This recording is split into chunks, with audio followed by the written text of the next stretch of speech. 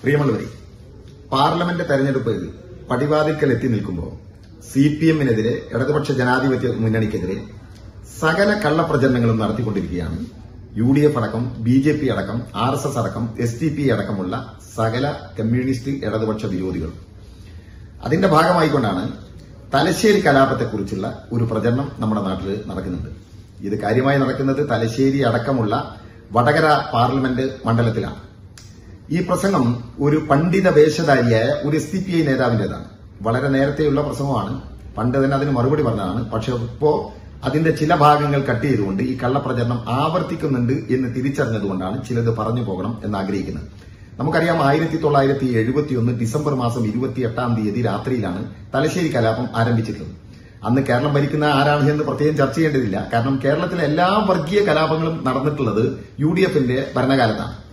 തലശ്ശേരി കലാപത്തിൽ അത് അടിച്ചൊതുക്കുന്നതിൽ അത് അവസാനിപ്പിക്കുന്നതിൽ നിർണായകമായ പങ്ക് വഹിച്ചത് സഖാ വി എം എസിന്റെ നേതൃത്വത്തിലുള്ള കമ്മ്യൂണിസ്റ്റ് പാർട്ടിയാണ് എന്ന് പറയുന്നത് ജസ്റ്റിസ് ജോസഫ് വിജയത്തിൽ കമ്മീഷനാണ്. തലശ്ശേരി കലാപത്തെക്കുറിച്ച് അന്വേഷിക്കാൻ കരുണാകരൻ നിയോഗിച്ച ജസ്റ്റിസ് ജോസഫ് വിധേയത്തിൽ കമ്മീഷനുമായി അഭിപ്രായ വ്യത്യാസമുള്ളതുകൊണ്ടും അന്നത്തെ സർക്കാരുമായി അഭിപ്രായ വ്യത്യാസമുള്ളതുകൊണ്ടും സി പി എം ആ കമ്മീഷന്റെ മുമ്പിൽ മൊഴി കൊടുക്കാനോ സാക്ഷി പറയാനോ ഒന്നും പോയിട്ടില്ല. എന്നിട്ട് പോലും ആ കമ്മീഷൻ പറയാണ് തലശ്ശേരി കലാപം ഒതുക്കുന്നതിൽ നിർണായക പങ്ക് വഹിച്ചിട്ടുണ്ട് ഇ എം എസും അദ്ദേഹത്തിന്റെ പാർട്ടിയും എന്ന്. നമുക്കറിയാം അന്ന് തലശ്ശേരി അടക്കമുള്ള പ്രദേശത്തിന്റെ നിയമസഭാ മണ്ഡലമായ കൂത്തുപറമ്പിൽ നിന്ന് ജയിച്ച എം എൽ എ ആയിരുന്നു സഖാവ് പിണറായി വിജയൻ. മാരകമായ അസുഖമാണെന്ന് വസൂരി. ആ രോഗം ബാധിച്ച് അതിൽ നിന്ന് മോചിതനായിക്കൊണ്ടിരിക്കുന്ന സമയത്താണ് ഈ കലാപം ഉണ്ടായിട്ടുള്ളത്. തന്റെ ആരോഗ്യം വകവെക്കാതെ അദ്ദേഹം തലശ്ശേരിയിലേക്ക് വന്ന് തെറ്റിദ്ധാരണ പരത്തരുത് പരസ്പരം കലയിക്കരുത് എന്ന് മൈക്ക് കിട്ടി അനൗൺസ് ചെയ്തതൊക്കെ നമ്മൾ ചരിത്രത്തിൽ വായിച്ചതാണ്. ആ തലശ്ശേരി കലാപ സ്ഥലത്തേക്ക് നേരിട്ട് ചെന്ന ആദ്യത്തെ രാഷ്ട്രീയ നേതാവ് കൂടി സഖാവ് പിണറായി വിജയനാണ്. പക്ഷേ ഇപ്പൊ പ്രചരണം നടത്തുന്ന അല്ലെങ്കിൽ ഇപ്പൊ പ്രചരിപ്പിച്ചുകൊണ്ടിരിക്കുന്ന വീഡിയോയിൽ പറയുന്ന പണ്ഡിത വേഷധാരിയായ തെമ്മാടി. അദ്ദേഹം പറയുന്ന എന്താണ്? ഈ വർഗീയ കലാപം നടത്തിയിട്ടുള്ളത് സി പി എമ്മുകാരാണ് എന്ന് അദ്ദേഹം പറഞ്ഞു. ആർ എസ് എസുകാർ പോലുമല്ല സി പി എമ്മുകാരാണ് മുസ്ലിങ്ങൾക്കെതിരെ കലാപം അയച്ചുവിട്ടത് എന്ന പച്ചക്കള്ളമാണ് ഈ പണ്ഡിത വേഷധാരി വിളിച്ചു പറയുന്നത്. ഇപ്പോഴും മാർക്സിസ്റ്റ് പാർട്ടിയുടെ പ്രവർത്തകർ പറയുന്നത് കലാപമെന്ന് നടത്തിയിരുന്നത് സംഘപരിവാരും ആർ എസ് എസുമായിരുന്നു എന്നാണ്. എന്നാൽ നാം അറിയണം മുപ്പത്തിമൂന്ന് പള്ളികൾ ആ കലാപത്തിൽ തകർക്കപ്പെട്ടപ്പോൾ അതിൽ പതിനഞ്ച് തകർക്കപ്പെട്ട പള്ളികൾ നിലനിന്നിരുന്ന സ്ഥലത്ത് അന്നൊരു പേരിന് പോലും ഒരു ആർ എസ് എസ്സുകാരൻ ഉണ്ടായിരുന്നില്ല. പിന്നെ ഏത് ആർ എസ് എസ്സുകാരനാണ് ഈ പള്ളികൾ തകർത്തത്? നമുക്കറിയാം വിധേയത്തിൽ കമ്മീഷൻ വളരെ കൃത്യമായി പറയുന്നുണ്ട്. ഈ പിന്നെ കലാപത്തിന്റെ പിന്നിൽ ആരാണെന്ന് ആർ എസ് എസ് ആണെന്ന് വളരെ കൃത്യമായി പറയുന്നുണ്ട്. ഇയാൾ പറയുന്നതാണ് പിന്നെ കമ്മ്യൂണിസ്റ്റ് പാർട്ടി ഉണ്ടായിട്ടുള്ള പാറപ്പുറം. ആ പാറപ്പുറത്ത് പോലും പള്ളി തകർക്കപ്പെട്ടിട്ടുണ്ട്. അവിടെ കമ്മ്യൂണിസ്റ്റുകാരാണ് തകർത്തിട്ടുള്ളത് എന്നൊക്കെ അങ്ങ് ചാമ്പി വിടുകയാണ് പക്ഷെ ഇയാൾ അറിയണം ഇത് പറയുന്നവർ അറിയണം പ്രചരിപ്പിക്കുന്നവർ അറിയണം. അന്നും ഇന്നും ഇന്ത്യയിൽ ഏറ്റവും കൂടുതൽ ആർ എസ് എസിന് ശാഖയുള്ളത് തലശ്ശേരിയിലാണ്. തലശ്ശേരി ആർ എസ് എസിന്റെ ഭാഷയിൽ ഒരു ജില്ലയാണ്. ആ ഭാഷ തന്നെ കടമെടുത്താൽ തലശ്ശേരി ജില്ലയാണ്. ഇന്ത്യയിൽ ആർ എസ് എസിന് ഏറ്റവും കൂടുതൽ ഈ കലാപം നടക്കുന്ന കാലത്തും ഇന്നും സ്വാധീനമുള്ളത് എന്നത് ഒരു സത്യമാണ്. എന്നിട്ട് ഇയാൾ ഇത് സി പി എമ്മിനെതിരെ ഇടാ തലയിലിടുന്നതിന് വേണ്ടി പിന്നെ ഗൂഢാലോചന നടത്തിയിട്ടാണ് ഈ പ്രസംഗം നടത്തിയിട്ടുള്ളത്. നമുക്കറിയാം തലശ്ശേരിയിൽ കലാപത്തിൽ ഈ കലാപത്തിൽ ആകെ ഒരു മനുഷ്യനെ കൊല്ലപ്പെട്ടിട്ടുള്ളൂ. അയാളുടെ പേര് യു കെ കുഞ്ഞിരാമൻ എന്നാണ്. ആ യു കെ കുഞ്ഞിരാമൻ കൊല ചെയ്യപ്പെട്ട രക്തസാക്ഷി അദ്ദേഹത്തെക്കുറിച്ച് ഈ അടുത്ത കാലത്ത് നാലഞ്ച് വർഷം മുമ്പാണ് കോൺഗ്രസ് നേതാവായ പി ടി തോമസ് ഒരു പച്ച തെമ്മാടിത്തം വിളിച്ചു പറഞ്ഞിട്ടുള്ളത്. അയാൾ പറഞ്ഞത് കുഞ്ഞിരാമൻ കൊല്ലപ്പെട്ടു എന്നല്ല കുഞ്ഞിരാമൻ ചത്തുപോയിന. അതിന് അതേ ഭാഷയിൽ മറുപടി പറയാൻ കോൺഗ്രസ് സംസ്കാരമല്ലല്ലോ നമുക്ക്. അതുകൊണ്ട് ആ ഭാഷ പ്രയോഗിക്കുന്നില്ല. കുഞ്ഞിരാമൻ കള്ളിഷാപ്പിൽ നിന്ന് അടിപിടി കൂടിയിട്ടാണ് ചത്തുപോയത് എന്നാണ് പി ടി തോമസ് പറഞ്ഞത്. ഇത് നേരത്തെയും ആർ എസ് എസ് ഈ നാട്ടിൽ പ്രചരിപ്പിക്കുന്നതാണ്. കാരണം ആർ എസ് എസ് പിന്നെ പറയുന്ന വാദം ഹിന്ദുരാജ്യം ഹിന്ദു രാജ്യം ഉണ്ടാക്കണമെന്നാണ്. ജന്മം കൊണ്ട് ഹിന്ദുവായ എന്നാൽ കർമ്മം കൊണ്ട് കമ്മ്യൂണിസ്റ്റുകാരനായ ഒരു സഖാവ് കൊല്ലപ്പെട്ടത് അവരുടെ ഈ വാദത്തിന് വലിയ തിരിച്ചടിയായി. അതുകൊണ്ടാണ് കുഞ്ഞിരാമനെ കള്ളിശാപ്പിലെ അടിപിടിയിൽ മരിച്ചവനാണ് എന്ന് പ്രചരിപ്പിക്കേണ്ടെന്ന ആവശ്യം ആർ എസ് എസിനുണ്ടായത് അത് സ്വാഭാവികമാണ് അത് അവർ പ്രചരിപ്പിക്കും. പി ടി തോമസ് പ്രചരിപ്പിച്ചപ്പോൾ അദ്ദേഹം പറഞ്ഞിട്ടുള്ള ഒരു കാര്യമുണ്ട്. ഞാൻ അന്നത്തെ ഏത് എഴുപത്തൊന്നിലെ തലശ്ശേരി കലാപകാലത്ത് കുഞ്ഞിരാമൻ മരിച്ച കാലത്തെ പത്രങ്ങളൊക്കെ വായിച്ചു നോക്കി. മനോരമ വായിച്ചു മാതൃഭൂമി വായിച്ചു. അതിലൊന്നും കുഞ്ഞിരാമൻ പിന്നെ കൊല്ലപ്പെട്ടതിനെ കുറിച്ച് ഒരു വാർത്തയില്ല. ഇത് കമ്മ്യൂണിസ്റ്റുകാർ പ്രചരിപ്പിക്കുകയാണ് എന്ന പച്ചക്കള്ളമാണ് പി ടി തോമസ് പറഞ്ഞത്. പി ടി തോമസ് ഇത് പറഞ്ഞതുകൊണ്ട് തന്നെ അന്ന് ആയിരത്തി തൊള്ളായിരത്തി എഴുപത്തി ഒന്ന് ഡിസംബർ മാസം ഇരുപത്തിയെട്ടാം തീയതി തുടങ്ങിയ കലാപം ആയിരത്തി തൊള്ളായിരത്തി എഴുപത്തിരണ്ട് ജനുവരി അഞ്ച് ആറ് ഒക്കെ ദിവസങ്ങളിലായിട്ടാണ് ഒരു സമാധാനത്തിലേക്ക് തിരിച്ചെത്തിയിട്ടുള്ളത് പൂർണമായിട്ടല്ലെങ്കിലും. ജനുവരി മാസം മൂന്നാം തീയതിയാണ് കുഞ്ഞിരാമന് കുത്തേൽക്കുന്നത്. അദ്ദേഹം മരിക്കുന്നത് നാലാം തീയതിയാണ്. ജനുവരി മാസം അഞ്ചാം തീയതിയുള്ള പത്രങ്ങളിലാണല്ലോ ഈ വാർത്ത വരിക. ദേശാഭിമാനിയിൽ വളരെ കൃത്യമായി കുഞ്ഞിരാമൻ മരിച്ചു കിടക്കുന്ന ചിത്രമുണ്ട്. കൊന്നത് ജനസംഘക്കാരെന്ന വാർത്തയുണ്ട്. വലിയ വാർത്തയുണ്ട്. അപ്പൊ ദേശാഭിമാനി ഇവർ വിശ്വസിക്കണ്ട. ഈ പി ടി ചാക്കോ പറഞ്ഞത് ഞാൻ മലയാള മനോരമ പത്രം വായിച്ചു. ഇത് കേൾക്കുന്നവർ വിചാരിക്കും അന്ന് മലയാള മനോരമ ഒക്കെ ഈ പി ടി തോമസ് വായിച്ചിട്ടുണ്ട്. ഇയാൾ പറയുന്നത് സത്യമാണ്. ഞാൻ ആ മലയാള മനോരമയുടെ ആയിരത്തി തൊള്ളായിരത്തി എഴുപത്തിരണ്ട് ജനുവരി അഞ്ചാം തീയതി പുറത്തിറങ്ങിയ മലയാള മനോരമ പത്രമാണിത്. ഇയാൾ പറഞ്ഞതുകൊണ്ട് എന്നെ തേടി പിടിച്ചാണ്. ഇത് ഞാൻ പറയുന്നത് പച്ചക്കള്ളമാണെങ്കിൽ മനോരമയ്ക്ക് എനിക്കെതിരെ മാനനഷ്ടത്തിന് കേസ് കൊടുക്കാം. മനോരമ പത്രമാണ് ഞാൻ ഈ കാണിക്കുന്നത് അതിന്റെ കട്ടിങ് ഇതിൽ വളരെ കൃത്യമായി പറയുന്നു മാർക്സിസ്റ്റ് പ്രവർത്തകൻ കൊല്ലപ്പെട്ടു. കൂത്തുപറമ്പനടുത്ത നീർവേലി എന്ന സ്ഥലത്ത് ഇന്നലെ രാത്രിയുണ്ടായ ആക്രമണത്തിൽ മാർക്സിസ്റ്റ് പാർട്ടി പ്രവർത്തകനായ യു കെ കുഞ്ഞിരാമൻ കൊല്ലപ്പെട്ടിരിക്കുന്നു. അടിയും കുത്തും കൊണ്ട് പരിക്കേറ്റ് മറ്റ് രണ്ട് മാർക്സിസ്റ്റുകാരെ ഇവിടെ ഗവൺമെന്റ് ആശുപത്രിയിൽ പ്രവേശിപ്പിച്ചിട്ടുണ്ട്. അടുത്ത വലിയ ശ്രദ്ധിക്കേണ്ടത് ഈ ഇടത്ത് ഈ ഈ ഇടത്തെ ഈ പ്രദേശത്തെ അശ്വാസങ്ങളെ തുടർന്ന് പ്രാദേശികമായി രൂപവൽക്കരിക്കപ്പെട്ട സമാധാന കമ്മിറ്റിയുടെ പ്രവർത്തകനാണ് കുഞ്ഞിരാമൻ. മനസ്സിലായോ? മാർക്സിസ്റ്റ് പ്രവർത്തകരെ ഒരു ജനസംഘം ജനസംഘക്കാർ ആക്രമിച്ചു എന്നാണ് പറയപ്പെടുന്നത്. സമാധാന കമ്മിറ്റി യോഗം കഴിഞ്ഞു പോകുകയായിരുന്നു പ്രേ മാർക്സിസ്റ്റുകാർ. മനസ്സിലായോ നിങ്ങൾക്ക്?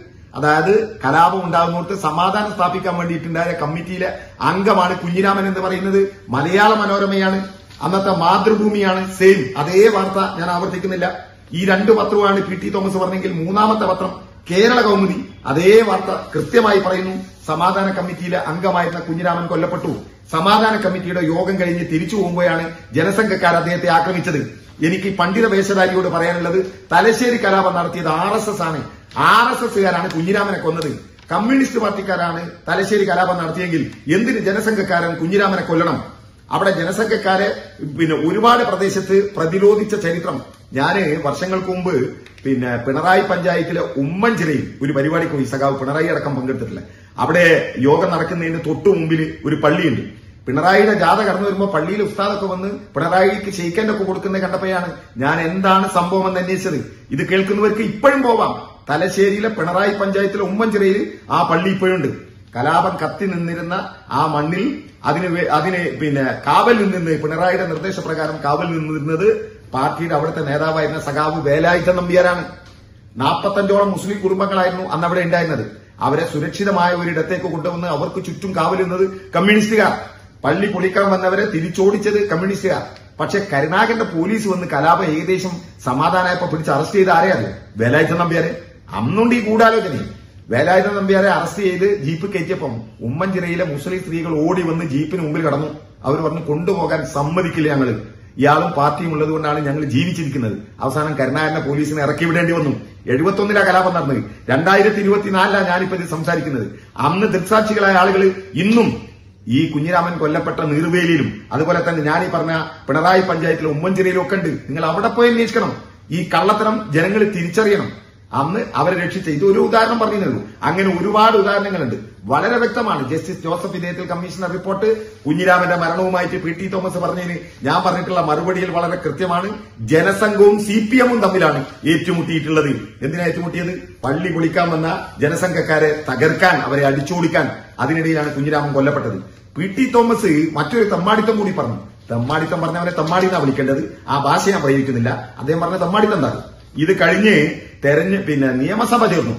തൊട്ട് പിറകെ നിയമസഭ തീർന്നു. അന്ന് തലശ്ശേരി അടക്കമുള്ള കൂത്തുപറമ്പിന്റെ എം എൽ എ ആയ പിണറായി വിജയൻ ഒരക്ഷരം ഇതിനെക്കുറിച്ച് സംസാരിച്ചിട്ടില്ല എന്നാ പറഞ്ഞത്. നിയമസഭാ രേഖ പരിശോധിച്ചു എന്നാ വി. ടി. തോമസ് പറഞ്ഞു. ഇയാൾ എവിടുത്തെ രേഖയാ പരിശോധിച്ച് നിയമസഭാ രേഖയാണ് എന്റെ കയ്യിൽ.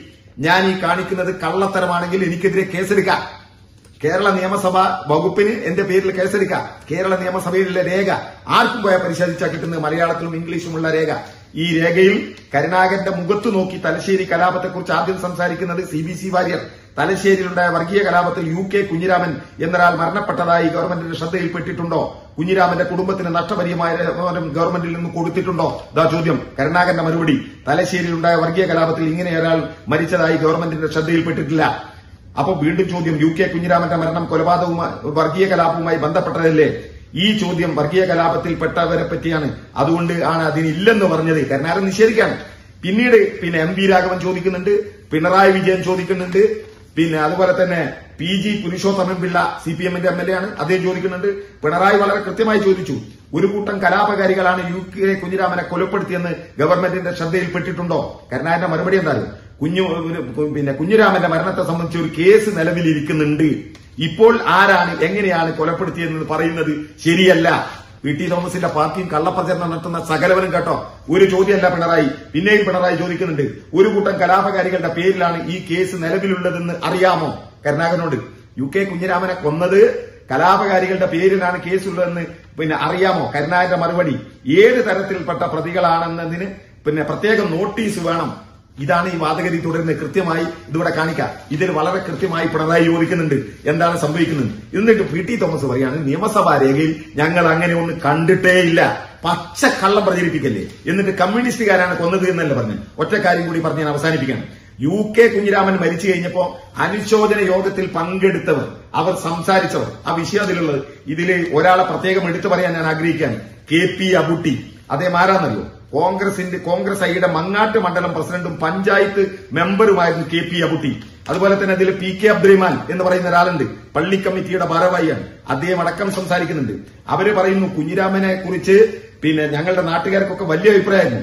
അവിടെ പിന്നെ കണ്ടംകുന്ന് സഹകരണ സൊസൈറ്റി ഏഴ് ഡയറക്ടർമാരിൽ ആറുപേരും കോൺഗ്രസ് ആയിരുന്നു. എന്നാൽ യു കെയുടെ തളങ്ങുന്ന വ്യക്തിത്വം അംഗീകരിച്ചാണ് ഞങ്ങൾ കമ്മ്യൂണിസ്റ്റുകാരനായ അദ്ദേഹത്തിന് ഡയറക്ടർ സ്ഥാനം കൊടുത്തത്. ഇത് പറയുന്ന ആരാണ്? K P Abootty. കോൺഗ്രസുകാരനായ K P Abutty പറയാണ് തളങ്ങുന്ന വ്യക്തിത്വമുള്ളത് കൊണ്ടാണ് യു കെ കുഞ്ഞിരാമനെ രാഷ്ട്രീയം പരിഹരിക്കാതെ ഏഴ് മെമ്പർമാരിൽ ആറ് കോൺഗ്രസ് ഉണ്ടായിരുന്നത്. ഏഴാമത്തത് യു കെ കുഞ്ഞിരാമനെ പ്രഖ്യാപിച്ചത്. വളരെ കൃത്യമായ രേഖയാണിത്. മനസ്സിലായ നിങ്ങൾക്ക്? എന്നിട്ട് ആ കുഞ്ഞിരാമനെ കുറിച്ചിട്ടാണ് കള്ളുകുടിയനാണ് എന്നൊക്കെ പച്ചക്കള്ളം ആർ എസ് എസ് പ്രചരിക്കും അവർക്ക് ആവശ്യമാണ്. അവരുണ്ടായ വർഗീയ കലാപത്തിൽ കൊല്ലപ്പെട്ടയാൾ മോശമാണ് എന്ന് ചിത്രീകരിക്കേണ്ടത് അവരുടെ ആവശ്യമാണ്. ഇത് ഏറ്റെടുക്കുകയാണ് പി ടി തോമസ് ചെയ്ത്. ഇത് ഏറ്റെടുക്കുകയാണ് കോൺഗ്രസും ലീഗും ചെയ്തത്.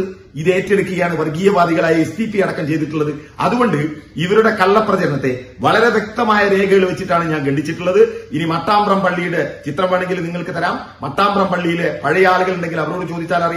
തലശ്ശേരിയിലും പരിസര പ്രദേശങ്ങളിലുമുള്ള ആർ എസ് എസ് ആക്രമിക്കപ്പെട്ട സമയത്ത് മുസ്ലിം പള്ളികൾക്ക് കാവൽ നിന്ന് ഒരുപാട് പ്രദേശമുണ്ട്. ഒരുപാട് ആളുകൾ ഇന്നും ജീവിച്ചിരിപ്പുണ്ട്. അവരോടൊക്കെ അന്വേഷിച്ചാൽ അറിയാം. പിന്നീട് ഇതേ തലശ്ശേരിക്കടുത്ത കൂത്തുപറമ്പിൽ അടുത്ത് വെച്ചിട്ട് തന്നെയാണ് ജീവിച്ചിരിക്കുന്ന രക്തസാക്ഷി പി പിന്നെ പി ജയരാജനെയും ആർ എസ് എസ് വെട്ടിക്കൊല്ലാൻ വന്നിട്ടുള്ളത്. അദ്ദേഹം മരിച്ചെന്ന് കരുതി തിരിച്ചുപോയതാണ് അതിന്റെ വിശദീകരണത്തിലേക്കും കിടക്കുന്നില്ല. ജന്മം കൊണ്ട് ഹിന്ദുവാണ് പിന്നെ പി ജയരാജൻ അടക്കമുള്ളവർ യു കെ കുഞ്ഞിരാമൻ അടക്കമുള്ളവർ. പക്ഷെ അവർ കർമ്മം കൊണ്ട് കമ്മ്യൂണിസ്റ്റുകാരാണ്. അതുകൊണ്ടാണ് കമ്മ്യൂണിസ്റ്റുകാർ ആർ എസ് എസിന്റെ പ്രഖ്യാപിത ശത്രുക്കളായ മതന്യൂനപക്ഷങ്ങളായ മുസ്ലിങ്ങളെ സംരക്ഷിക്കാൻ ക്രിസ്ത്യാനികളെ സംരക്ഷിക്കാൻ കമ്മ്യൂണിസ്റ്റുകാർ നെഞ്ചു വിരിച്ചു നിൽക്കുന്നത്.